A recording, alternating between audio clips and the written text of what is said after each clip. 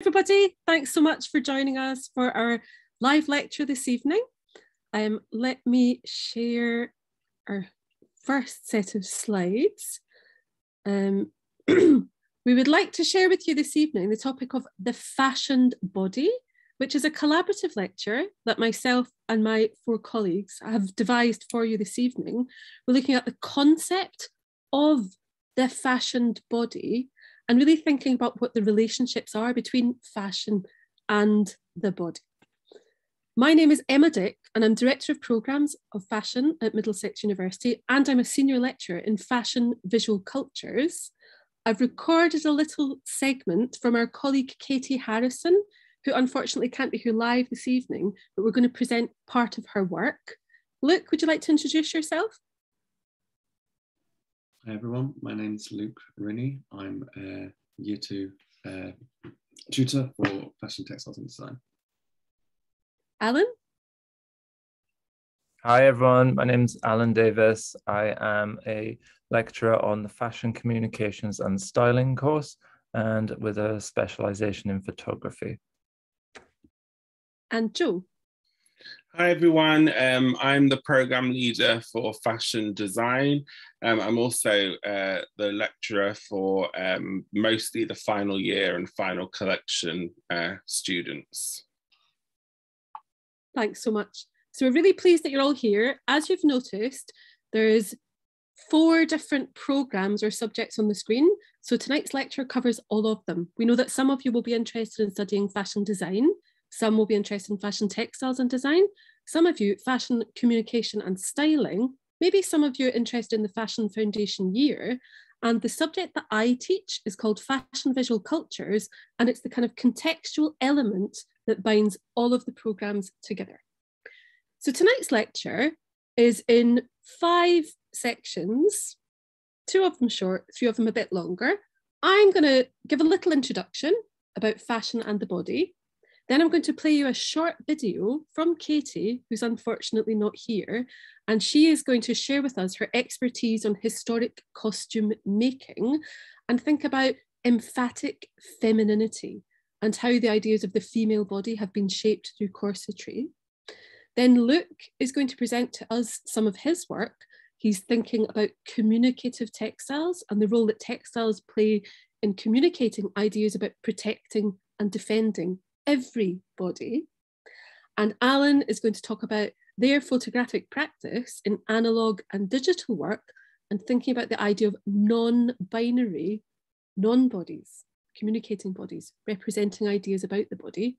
And Joe is going to finish off looking a little bit about what's the future of the ideas of fashion and the body and to take any questions that any of you might have of anything that we say or anything in general about the fashion programs. So I am going to start with a very short introduction, not by myself, but by a book that we might ask you to read a section from in the first year or the second year of your study at Middlesex University. This is a wonderful, wonderful book by Joanne Entwistle. She's a sociologist. So we understand that fashion is such a social um, topic. It really interacts with all of our daily lives. And a book such as The Fashioned Body by Joanne Entwistle really helps us to understand the history and the social context of what the body means in contemporary society and how fashion and the body interact. So I'm simply going to read you the very first page from Joanne Entwistle's book because I think it really nicely contextualizes what we are going to present to you this evening. So she says, fashion is about bodies.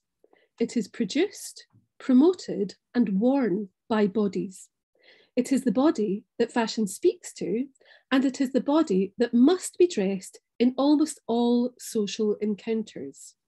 Within the West, and increasingly beyond as well, fashion structures much of our experience of dress, although, as I argue in this book, it is not the only factor influencing dress in everyday life, since other factors such as sex, class, income, and tradition play their part.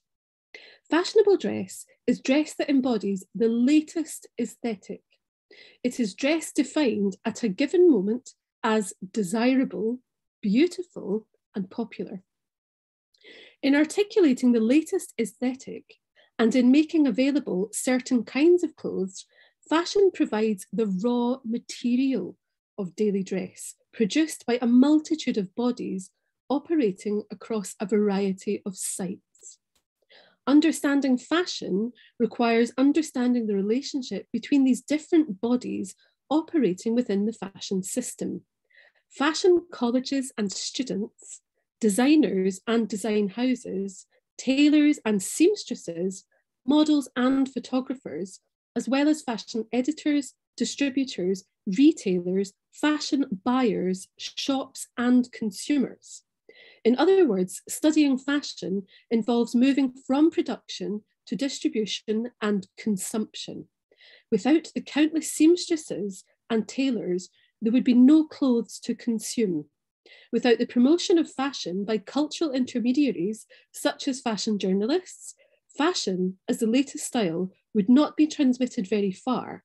And without the acceptance of consumers, fashionable dress would lie unworn in factories, shops, and wardrobes. Thus, when we speak of fashion, we speak simultaneously of a number of overlapping and interconnecting bodies involved in the production and promotion of dress, as well as the actions of individuals acting on their bodies when getting dressed. Okay, so that's very much the ethos that we present to you today overlapping and interconnecting bodies, giving you different perspectives on fashion and the body. I'm going to start with a little clip that I recorded earlier this morning with Katie Harrison, our senior fashion textile technician. Just give me one moment, I will swap to the video. Katie's really sorry that she couldn't be here live with us this evening, but I hope you'll be able to really enjoy her pre-recorded clip. All right. um, whoops. So, hello, I'm Catherine Harrison. I'm a um, senior technician um, in fashion design at Middlesex University on the fashion uh, BA. So, um, I'm going to chat a little bit today about corsetry and how it manipulates the silhouette um, in uh, throughout history. So, I'll just touch on a couple of areas to, um, to have a look at.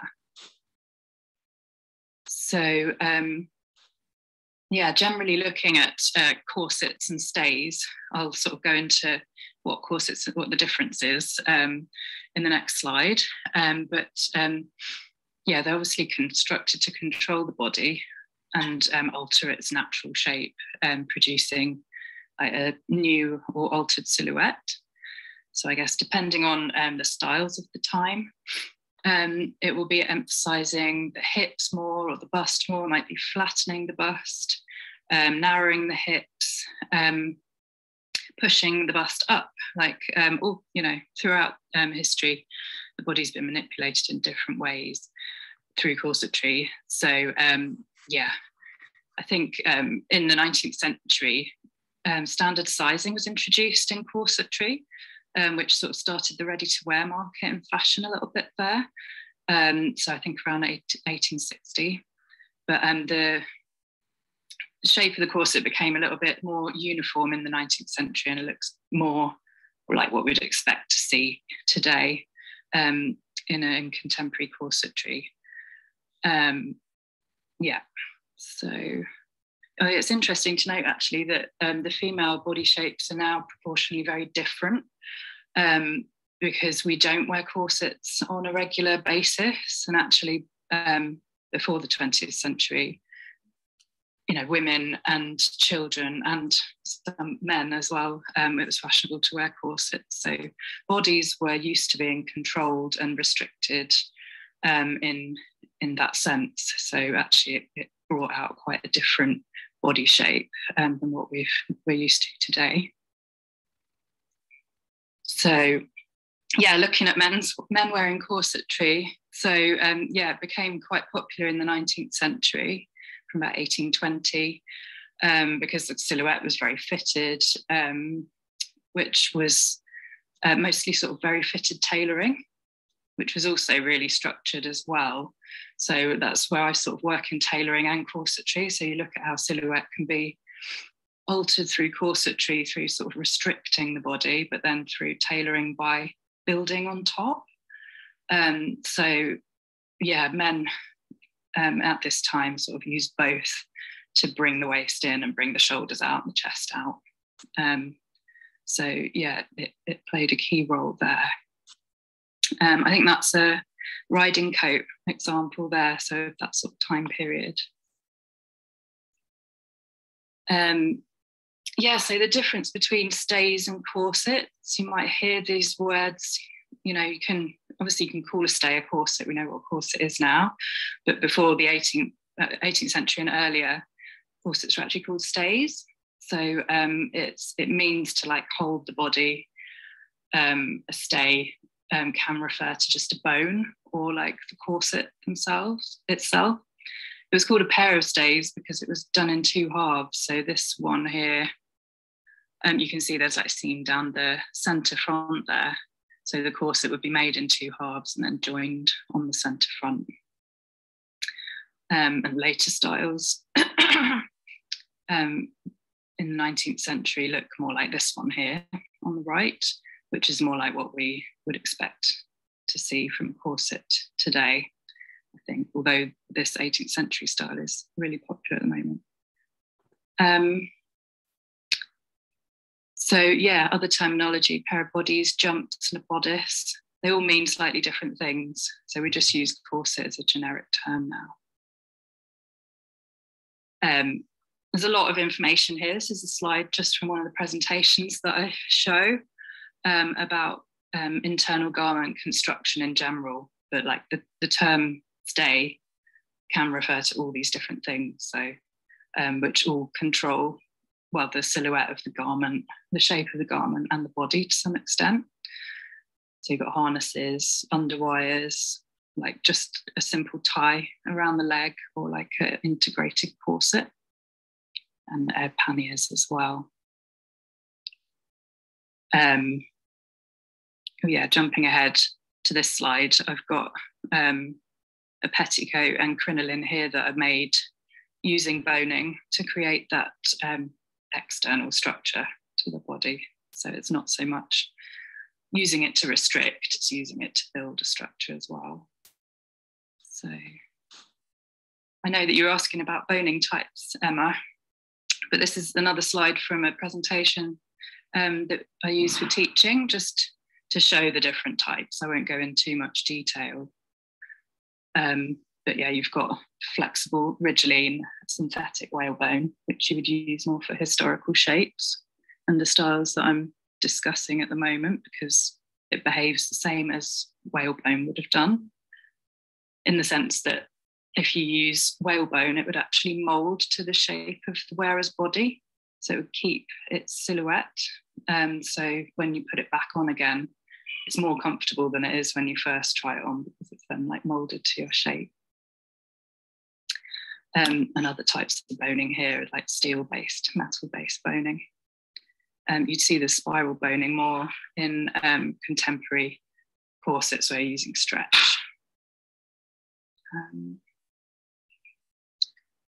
so moving on to these, just picked out a couple of examples of historical shapes um, to look at. So in um, the mid 18th century, you've got this um, sort of flat front, like very flat fronted corset, where everything would be pushed right up at the front, your bust would be pushed up high, and the bones were actually it was solidly boned throughout the corset. So took a long time to make and provided a lot of support and a lot of restriction, I think, on the body. Um, so at, the, at that time, corset makers thought that the amount of bone that you use equals the amount of support that you get. Um.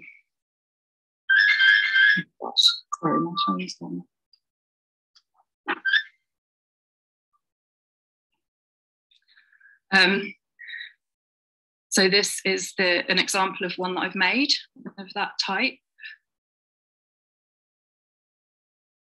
yeah, you can see here the bones are like solidly throughout the bodice. So it's really, um, yeah, solid when you pick it up, quite and quite um, restricted to the wearer.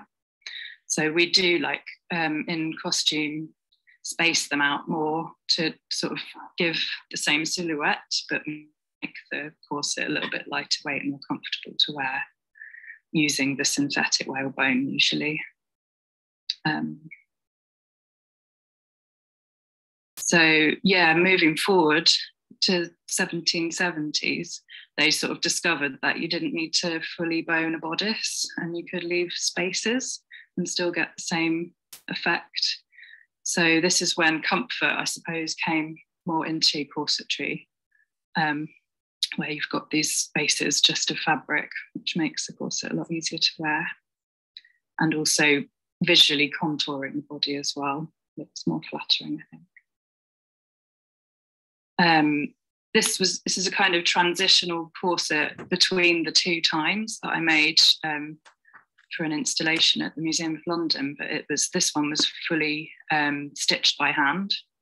So we've got areas of solid boning and areas of, of space as well. Um,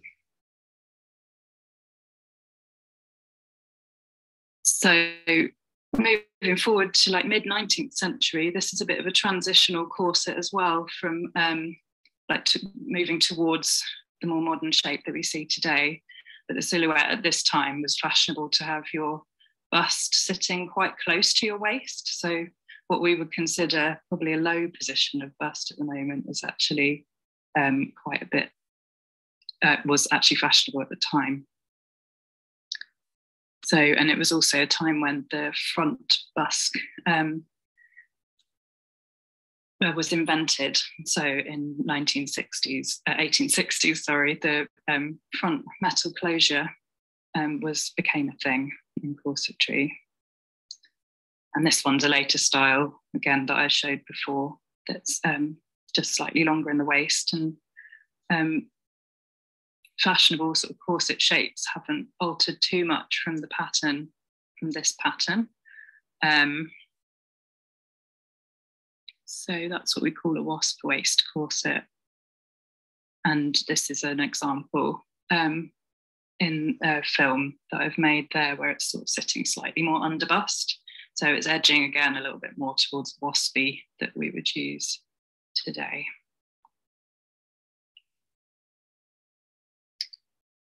Um, so that's kind of a bit of corsetry history in a nutshell. And um,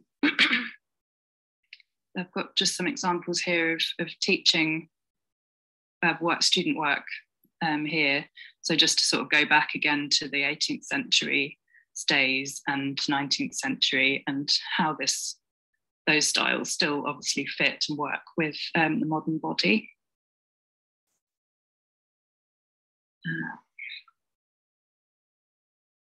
Um, and moving on here to um, complement that, I've worked with the FATE collab, uh, FATE, which is Fashion and Textiles Education Archive. So um, again, like bringing it back to the original garments and having a look at how they, they were made um, and um, structured differently um, depending on the period in history. Um, so this is um, a workshop that I do with Middlesex. So we're just sort of producing a, a sampler. So it's a simple bustier pattern um, that uses actually all, a, a, lot of the similar methods you would find in historical corsetry. We can apply that to modern um, shapes as well. So um, I don't know if you have any questions at this stage. I have, I have a two questions. I'll summarise it down to two. I've got so many questions, Katie. Um, question one: Your corset you made for the Museum of London display. How long did that take you to make? Like how many hours, days, weeks? Um, ah, good question. If I can remember, I think it was more or less about a week of solid hand sewing. Yeah. And that's all hand sewn. Yes, yeah. So all the um, channels were hand sewn with the back stitch. So yeah, it was it was quite um, yeah a long period of sewing the channels in before you could actually make the corset as well. And what is the material that you've used for boning in that corset? That is the synthetic whalebone. Synthetic whalebone. I love that when you said like people thought the more whalebone you put into something, the stronger it would become. But I can really, really see how as you wear something, it kind of takes on the shape of your body. It made me think of a pair of jeans nowadays. Like when you get a new pair of jeans, they're so tight and uncomfortable. Then you put it on and it gradually relaxes to fit your own body shape. So really yeah, yeah. Yeah, I think it is it is similar to that, isn't it? Because they're quite heavy fabrics as well. So yeah. yeah. Um, one other question I wanted to ask you was could you just say you've obviously got all this experience from like film and television work could you just give us a little bit of uh, understanding of the kind of role that you've you've played here and how did you learn it how did you learn how did you get into costume design um, so um, I got into it through um, I studied handcraft tailoring so after I, I studied um, fashion design during my BA at Brighton and then um, I, I, wanted to get more into making construction from there. So I did a handcraft tailoring apprenticeship. It was a pre-apprenticeship course with Savile Row tailors. So they kind of prepare you for going on to do an apprenticeship with the tailor. Um, so I did the course in order to learn all the hand stitching and um, the different stitches that they use in, in handcraft tailoring. So from there, I I got into costume because I applied for a position as a handcraft tailor for menswear. So I was doing like a lot of like 18th and 19th century men's tailoring there. Um, and then I got more interested in the corsetry um, than the tailoring. Oh. and um, because actually it uses a lot of similar techniques. So yeah, I moved over to corsetry from there. Um, I'm just going to make a stop on Katie's recording there because the internet went a bit funny and we lost a bit of the sound. But Katie is an amazing resource in the fashion design program. Joe, I think you would agree. And maybe yeah, at the end of the lecture, you can maybe say a few words about how the kind of historical, very technical work that Katie does links to the contemporary design work that the students are producing as well. So it's a very, very rich resource. And being able to integrate that knowledge of fashion history into contemporary fashion, I think is so important and fantastic. We've had a couple of student questions. Um, sh I answer these now, or do you want me to? It's, it's specifically about the, the corsetry. Um, just they're from Sarah. Now, I am not a corset specialist, so I can't fully answer uh, all these questions that have come, the, the two that have come in. But um, the first one is where corsets actually harmful. Um, from as far as I know, when I've had lecture series and I've, I've done some um, training in corsetry, you actually train a, the part of the body. I don't know in terms of how how they did it back in history, but now you can wear trainer corsets, which I believe the organs in the body slowly move upwards as you train your body in wearing the corset um, which is no different to when a woman is uh, having a, a, a, child. It's the same process. The organs move around the body, so it's not necessarily harmful. Yes, it can hurt if you uh, overwear and, and you do it wrong. Then obviously don't don't look into it if it's something you actually want to get because people still do train the, their bodies now um, in modern day wearing corsets. And the second question is, uh, will corsets worn by plus size individuals? Yes, different sizes. We cater to that as well on the on the program when we do corsetry um, within the course. You can do it to whatever size that you're looking to create a corset for. So I hope that kind of answers the, the questions. But I'm not a specialist in corsetry, so don't quote me exactly on that one.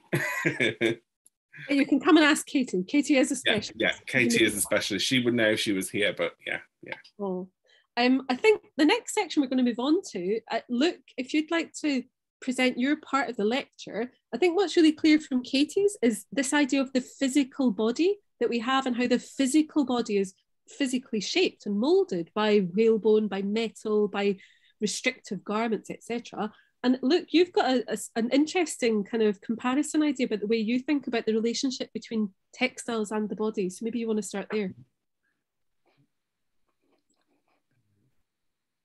So you should be able to see my screen.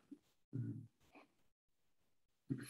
yeah, hi everyone. So, so um, I'm starting with um, just uh, my own practice. Uh, so, so, what I what I practiced in, um, so I, I, practiced in fashion design, um, and it's uh, I'm starting with an image of, of, a few looks from a slow fashion collection that I did a while ago after I um, had had a label. Uh, started to feel that the seasonal collections of uh, of fashion weeks, etc., were becoming antiquated a bit, and I wanted to, to take my time over um, over creating uh, these collections.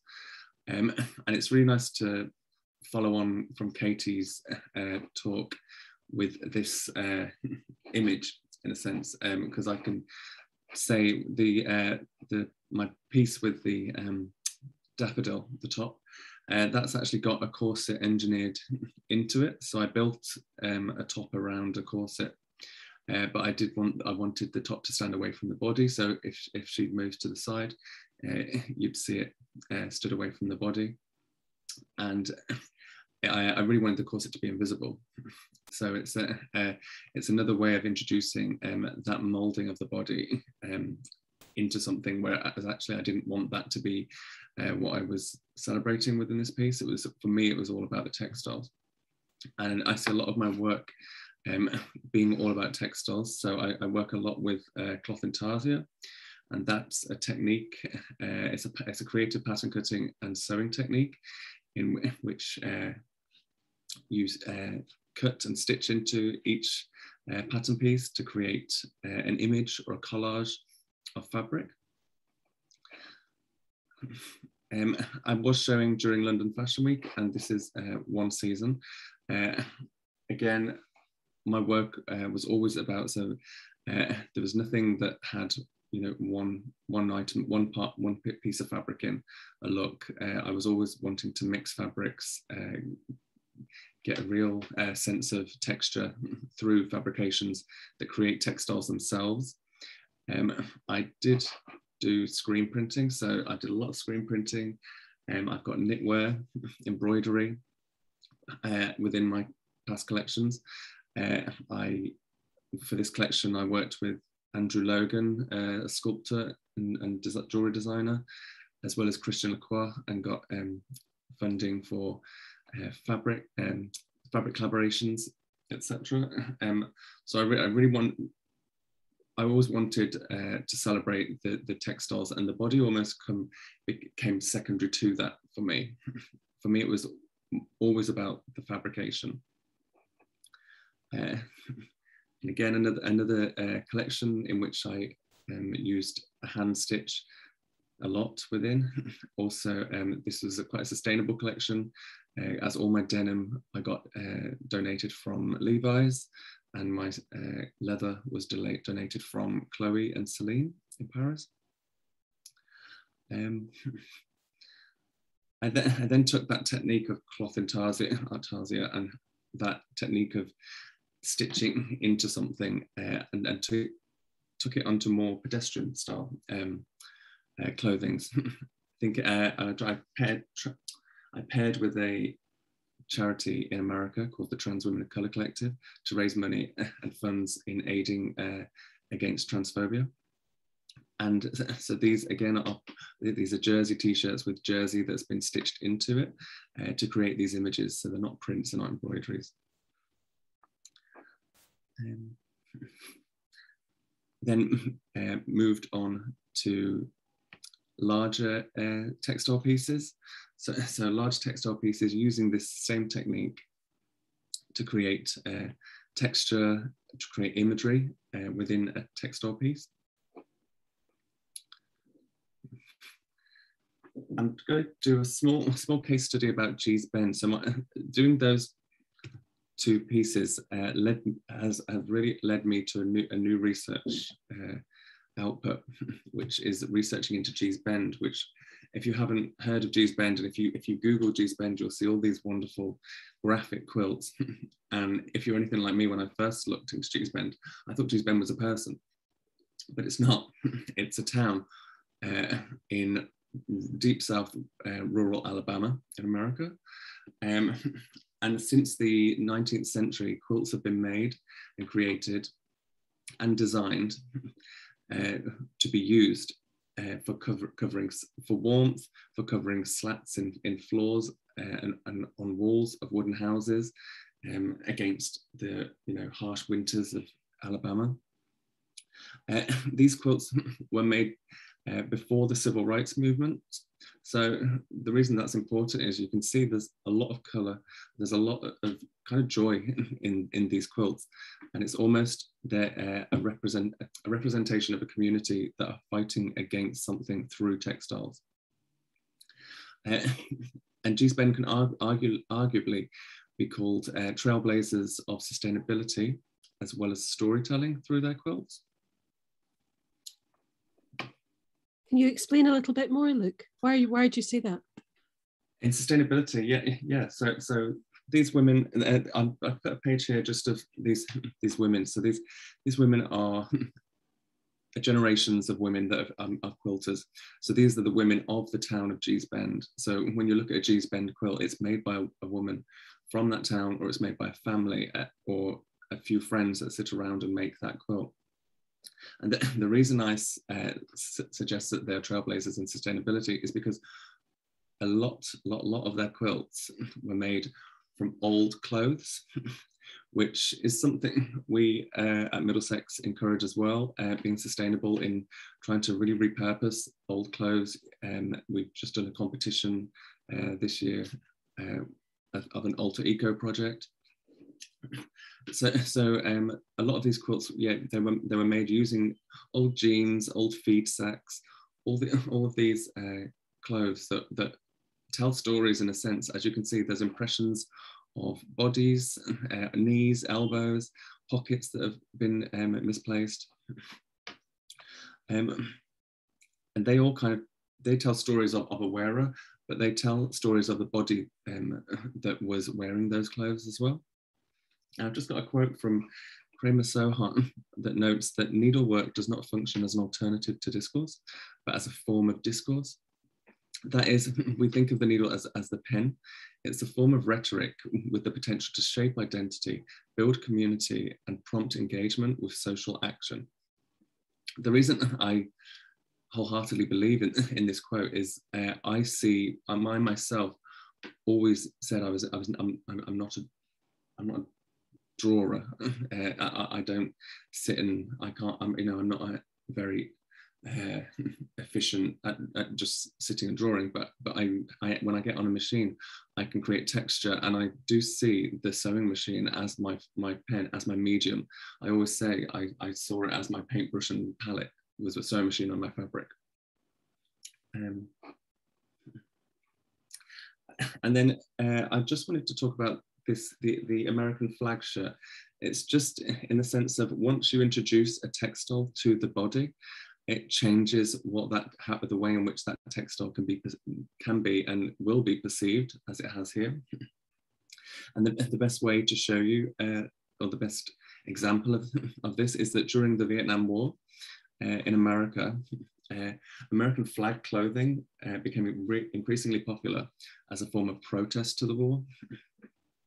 And an activist, Abbie Hoffman, uh, was arrested and charged with discretion of the flag whilst protesting um, in 1968. So the, the idea of this flag being on his body, um, him wearing it as a shirt, if he was protesting and holding a flag, it, I don't think it, well, it wouldn't have got the same, uh, the arrest wouldn't have happened. But once you introduce a textile onto the body, it becomes something completely different. And that's the same for you know, lots of other, uh, lots of garments in themselves as well. Just as it is the other way around with the, with the trousers being made into quilts, introducing um, from the body to a, a flat piece shows um, another element. And I'm just uh, going to fish on uh, some of my, my practice that I'm uh, that I work work on at the minute, which is um, within a fine art context. So I start with collage, and then I um, I kind of disintegrate that collage into a, a digital print so blowing up and then create uh, pattern pieces to re replace elements of that collage with plain fab fabrics and those uh, fabrics are then stitched in using the cloth intarsia technique as you can see here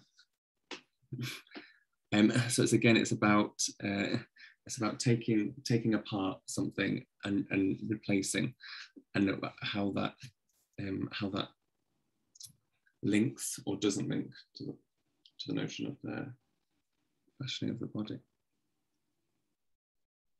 Yeah. Look, thank you so much. It's really, really beautiful to see all the different examples of your work and to, to think about that relationship between textiles and the body, as you've so beautifully explained. I really, really like this metaphor of sewing machine as a tool and a needlework as a form of discourse. I think that's really, really powerful. And I think at the end, what you're really talking about there is that um, the relationship between bodies and textiles, bodies and clothes, whether the bodies are there or not, and that different meaning it takes. Mm.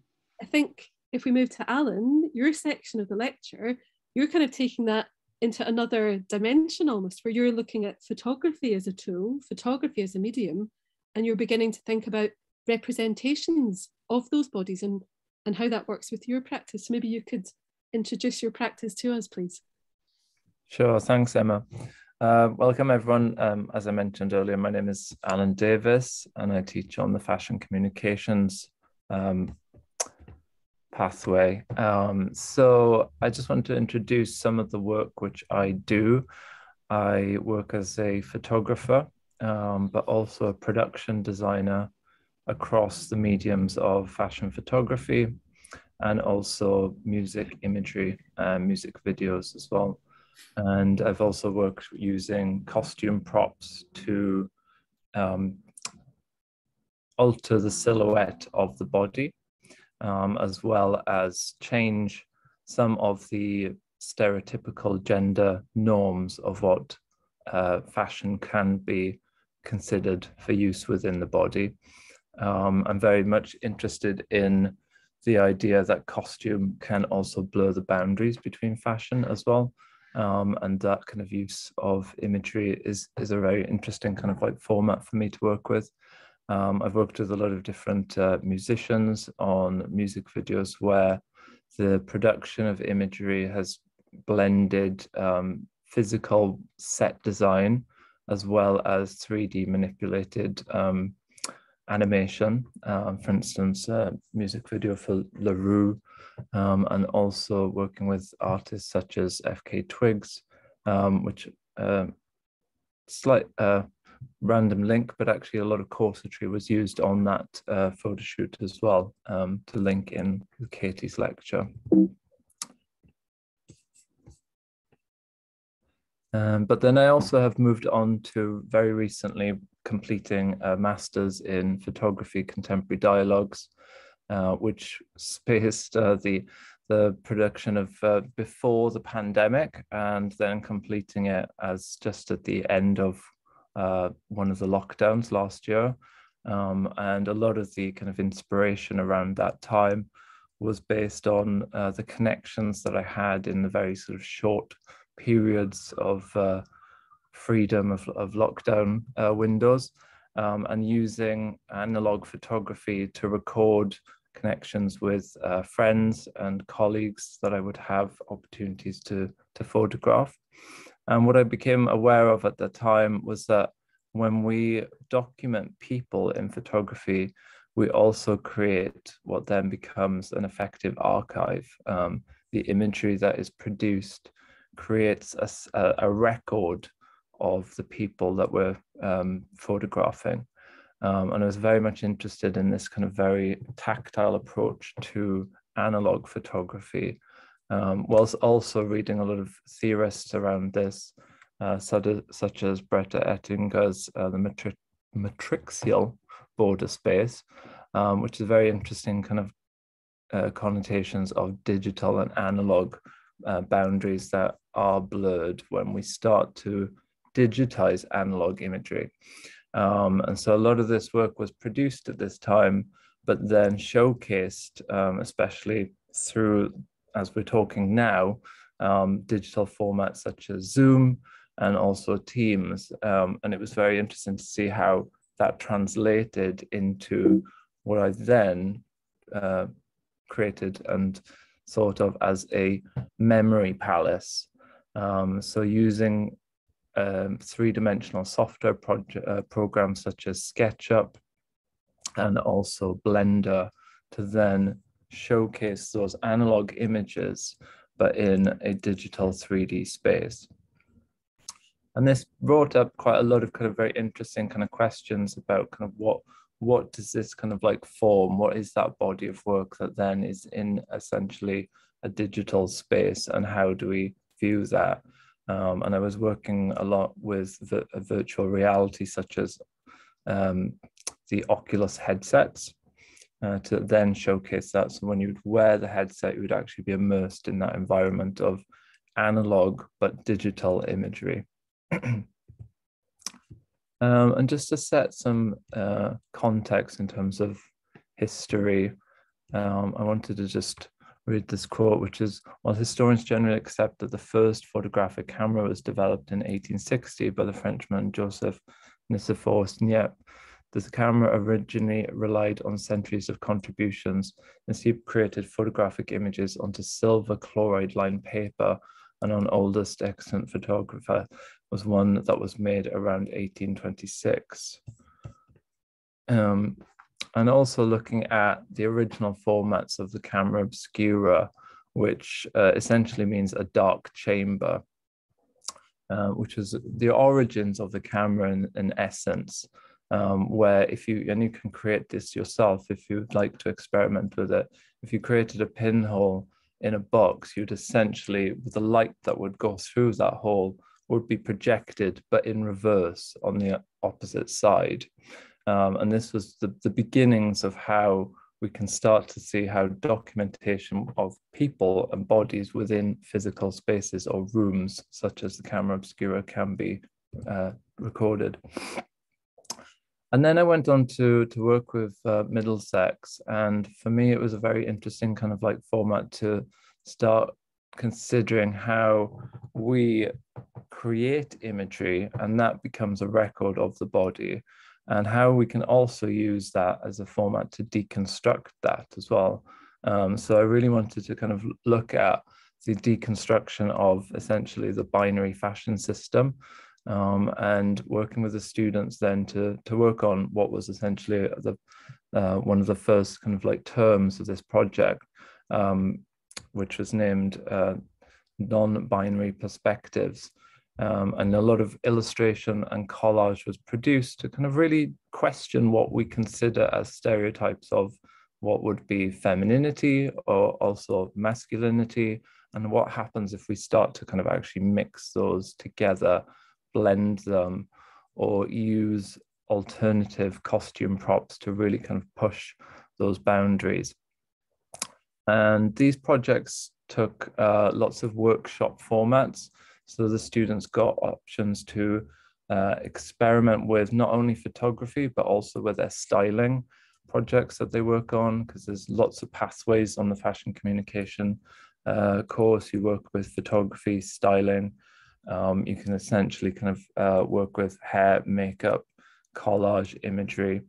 Um, and when we start to actually bring all of those things together, it was a really kind of interesting format for the students to explore what they can create as a format of, uh, of gender identities or non-gender identities in, in this case as well.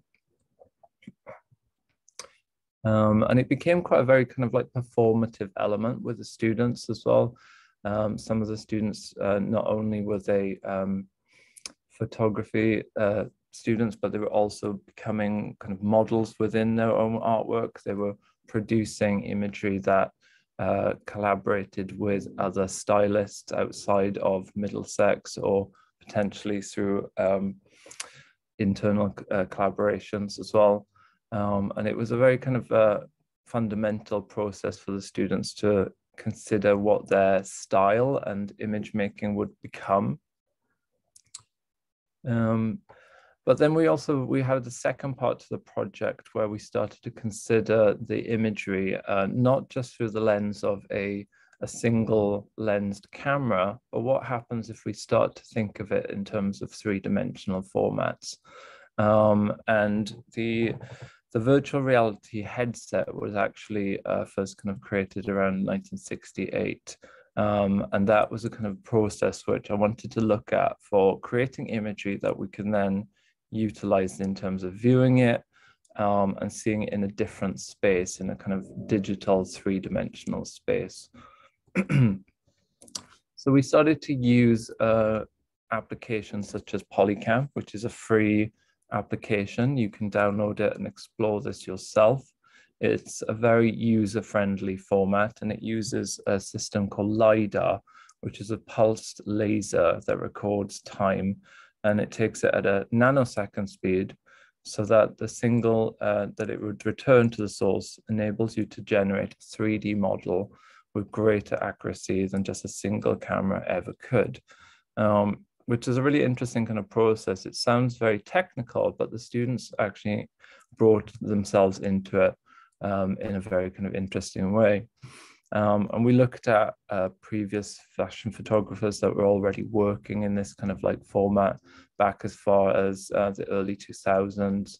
Um, a, a, significant photographer such as Nick Knight had done uh, 3D renders of the model uh, Naomi Campbell at the time.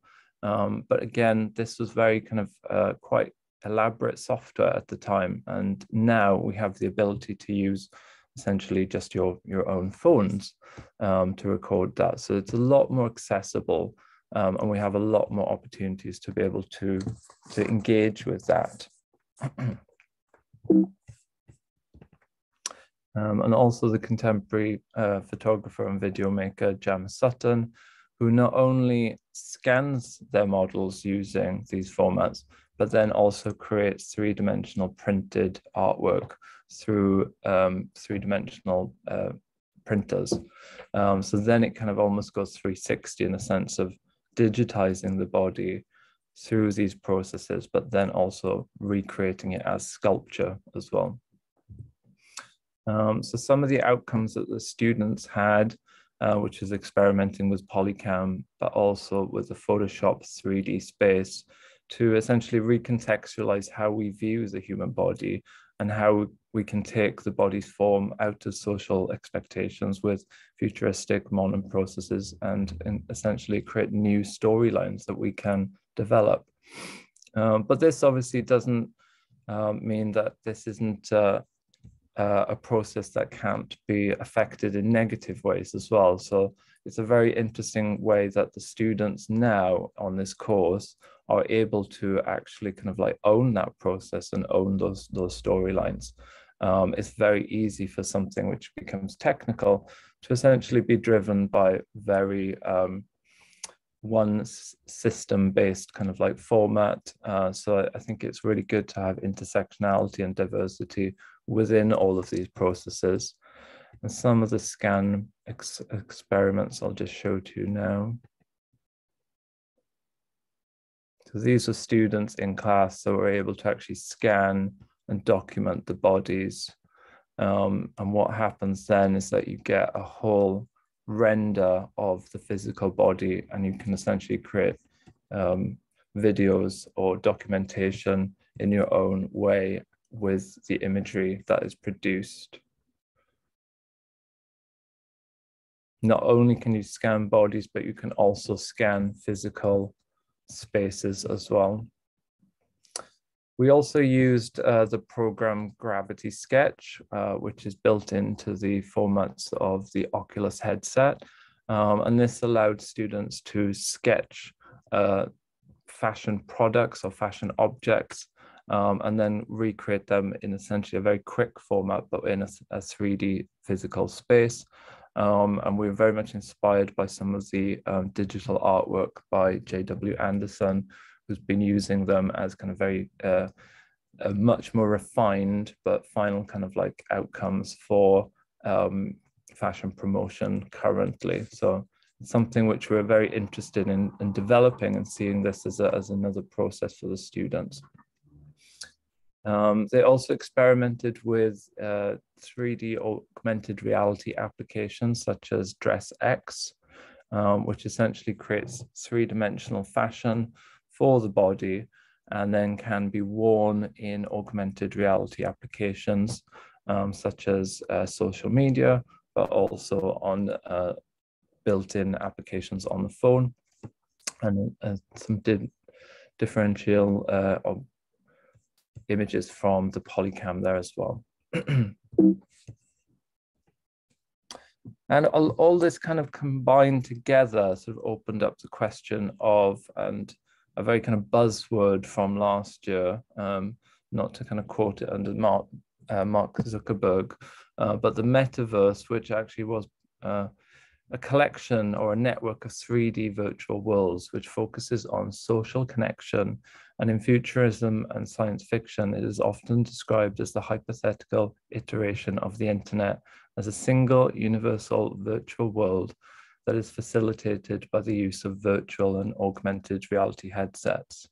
Um, and I think it was a really interesting kind of way to start the students thinking of how this 3D digital bodies and, and work that they were producing can actually then be showcased. Um, we're also looking at um, a lot of gaming apps at the time that were working with fashion brands and the collaboration of Fortnite with Balenciaga was a big inspiration for a lot of the students at the time and how we can essentially create kind of new realms to inhabit with these digital worlds um, something which is growing on a daily basis. Um, and I see a lot of this as tools for that we can use, like in, in the sense how we currently use the internet um, or we would use social media, not as a replacement from existing, um, as this would be the secret rave. I'm sure we'd all still want to go to secret raves. Um, but the um, the project kind of then pushed further into the ideas and uh, concepts of NFTs. Um, and this one student uh, had produced a collaboration or hypothetical collaboration between Gucci um, and uh, kind of NFTs of the metaverse of the, the Gucci verse as it was. Um, so, but rather than the very kind of like slick versions of some of the CGI work that we've seen, um, it was almost like going back to the lo-fi for the NFTs. Um, and uh, although this was imagery that already exists from Gucci, it was still a very interesting example of how the students had engaged with um, using that imagery, but then essentially creating a new body of work um, that uh, essentially collaborates between existing photography and then also bringing it back into lo-fi uh, digital illustration and animation. And for to kind of conclude that, I really think that the digital fashion body has a, a way to transgress cultural social systems and has the potential to move beyond the gender binary. Um, but obviously this does have risks to it. And I think that's something that we have to consider uh, whenever anyone creates imagery within the fashion world, we have a, a social responsibility. How do we create something that is um, unique, but also has uh, a sense of ethics to it? And that's something which uh, at Middlesex we consider. So lots of documentation, lots of communication and uh, discussions around that. Um, and I think there is another part from Joe. So thank you, everyone. Thanks so much, Alan. So thought provoking. And I definitely want to go to a secret rave. definitely. Um, Joe, the floor is yours. Yeah, do we still have have have time, or did you want to see if there was any? Yeah, we still got some time. Yeah, I think just to the last image. Okay, I'll be really quick because I know we haven't got much time yet. Um, I just wanted to kind of contextualize what everyone's doing because I think a nice follow-on for, from what Alan's spoken about um, is uh, uh, from fashion design point of view. Um, we are really working towards um, three dimensional practice as well. Um, and if we look back at what Katie um, spoke about in terms of corsetry, those hand techniques, we're now looking at how do we emulate those in three three-dimensional forms using Clo3D technology. Um, now, this one doesn't actually have uh, a corsetry in, uh, but this is an example of a, a recent graduate's work that um, completed his entire final collection on um, the uh, using digital software called uh, Clo3D, which is much more taking um, uh, 2D pattern pieces into into the computer, creating them in the computer, and then uh, generating uh, digital outcomes um, using that software. So all this these designs were completely made um, digitally. Um, he did uh, make some of them in um, in Toile in, in, in, in basic forms as well to see if they actually worked.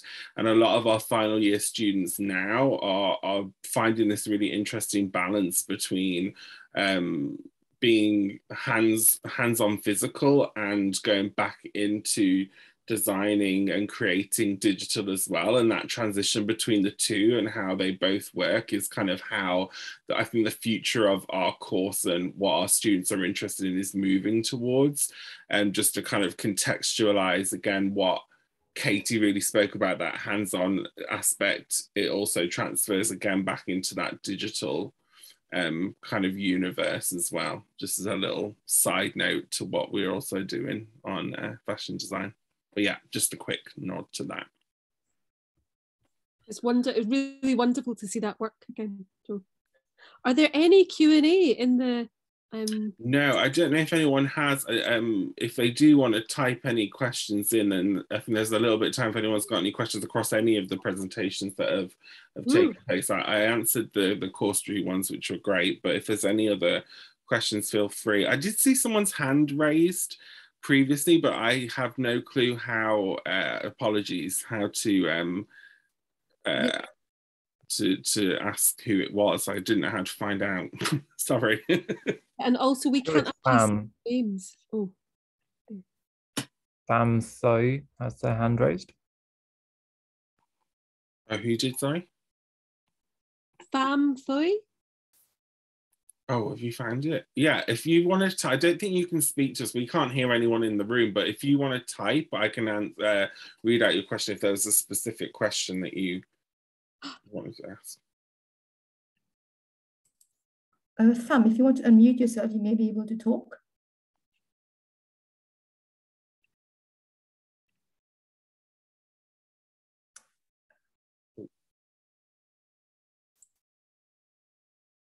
I might have lost them. I'm trying to see if I can unmute you, but I can't.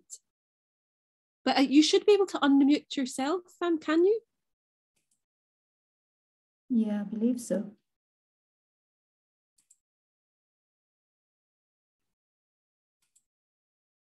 Okay, there's probably a problem there. So oh, or type your question if you can't. Type your question if there is one. Type your question into the Q&A. We'll wait for it. And anyone else that has any questions at all, either on what we've presented just now, or it might just be a general question about the course or fashion. I just, I have, I do have one question. Can I just ask, um, Alan, on uh, what um, level students were you work were you showing? I'm really interested because it's a really, a really good presentation of what, what, what. So I'm just intrigued. they're, they're all first years. Um, Amazing. I, I've only taught first years and a little bit of second years so far. Um, but yeah, I was, very impressed with the level of work that the the students um, have produced. Uh, it's a second term project, so uh, most of the work that you saw was handed in literally this week. Uh, so it's uh, it's yeah they they'd had a, a, photography project which was more um, simplistic, like more of an editorial project first. So they got the, the groundings, the basis of photography, but then we we took it to the next level to really kind of take it on to uh, digital imagery and in a much more broader sense as well. Nice. Yeah. Thanks. Very impressive. I just in the there's a there's an option to promote FAM to panelist. See, will that allow them to speak?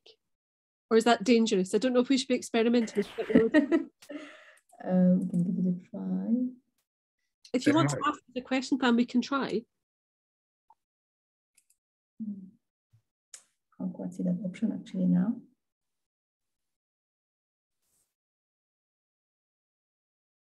Do you want me to try? I don't want to put you on Yeah, the you can try. You can try, Yeah. Emma. Uh, Um, if you don't want to be on screen, if you don't want your image on screen, just don't allow your camera on, but I hope it will allow you to speak. Let's try.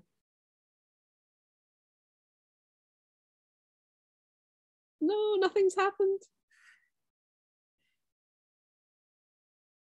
Yeah, nothing's happened. Oh. Yeah. I'm sorry. Um, and is there any other questions that anyone else wants to ask or type or? No. I mean, I've got loads, but I, I, I, feel like. You can ask away, Joe. Ask anything you want. Um, Can- oh, here we go. What are the grade requirements for this course? Um, I think all the information is through the admissions team. It's probably best to double check back with the admin team for each specific course. Um, I can't remember off the top of my head. I cannot, I cannot remember, but um, it's all on the through through the ad- admissions. The most important thing I would say is um, obviously the grades are really important. If, if you're, I don't know if you're interested in fashion design, so I'm speaking from fashion design um, aspect. Is the portfolio is really key for us on fashion design. Um, and if you are interested, what what out of interest, what course are you interested in? Are you able to type that down for me, or or is it just in general? Because I think we all speak that the, the portfolio can sometimes really speak a lot more for than sometimes the grades are probably um, just in general. Yeah, it's portfolio. Really work on that portfolio. Really have a look at um, uh, what we do, what each course is required, um, you know, and showcase who you are and what you want to bring to the table. I think that's one of the key things at Middlesex. It's about discovering what you're interested in. So, um, so yeah. Um, and then Amy says, I hope that answers the question. Um, amazing to see representation being non-binary myself. It's amazing to see others, and you know, it's something that each course really um, um, represents and, and stands for quite proudly. And we really um, we listen to our cohort. Our cohort kind of tells us what we should be doing, what they want, who they are, what they stand for, what they believe in. So um, we we appreciate that feedback, and um, the students will also appreciate it too. I'm sure. So um, and it's inbuilt to the majority of all of our our programs. So um, yeah, yeah. Hope that answers that one. Um, but anything else from anyone? I don't know if it's interesting, but I could show just the very simple slides on portfolio presentation if anyone wants to see them. Like if anyone's interested in portfolio. Yeah, if you've got them, Emma, just uh, They're just they're the generic slides that we would normally show you at like an open day or something. So I can show you just the ones, they're very, very straightforward, but just if anyone's a bit curious.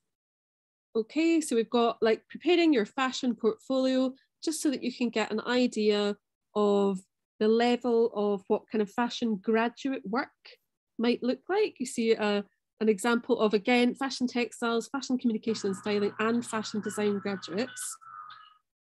A film in the middle there from one of our FCS graduates, Joel Claudio. Um, your portfolio is a collection of your creative work that introduces you and explains your approach, your interest and your skills. It should be at least 20 pages long and include a variety of work. It should show your interest in and knowledge of the area of fashion that you're applying for. Okay, so whether fashion design, fashion textiles, or fashion communication and styling, they can be physical books or binders, no larger than A3. If you're submitting it online, portfolios can be digital and submitted as a single PDF document. And we would expect to see a variety of visual work that may be made up of different projects that you've undertaken at GCSE, A level, BTEC, foundation course, or similar. And they might include any independently created work that you've got as well. Like just go for broke and feel feel proud to kind of um, show us your best work, show us what you think is most uniquely yours. Uh, there you go. So here's some examples that you can look at just so that you can see what we're looking for is a keen interest in fashion, examples of research and design development, examples of the breadth of your skills, willingness to experiment and take creative risks, evidence of your own interests within art and design, and most importantly, it's really about the ability to document what you're doing and the ability to communicate that. If you can show us that in approximately 20 pages of your most kind of proud pieces of work, that's what we're looking for. So there's some examples of fashion design portfolios, just to let you see some really lovely images that we've received from students. There's some fashion textiles and design, so maybe more kind of uh, gestural work, sculptural work, some gorgeous collage there. And some examples of fashion communication and styling. Okay, just by looking at that, you can get a sense of who the person is. Okay, so those are just the generic slides that we show you, but if that helped anyone, I'm, I'm pleased. Are there any final questions? Don't think so. Not not, not yet. There's also open days as well as Norma. Yeah, um, we're getting towards the end of the open day season, but is that the next open day? Uh, it is on the 11th of June. That's yep. on a Saturday. That's the next uh, kind of summer open day. Yeah. Everybody is, is invited to book for it and, and attend. Yeah.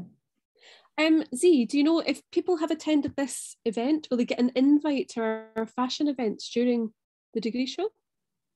Um, could be. I'm not 100% sure about this, uh, Emma. Ah, okay. Yeah. So that's one list. Just for anyone that's interested, if you want to come, like our degree show is going to be between the 9th to the 16th of June.